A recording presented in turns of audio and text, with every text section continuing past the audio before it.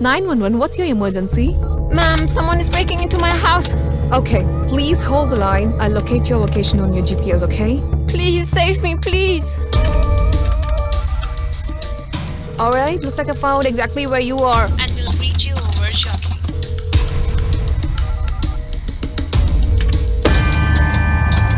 Battle God, we have a code 1987 on Paradise in Swenson. Please save me, please. Okay, alright, what's your name? Jennifer,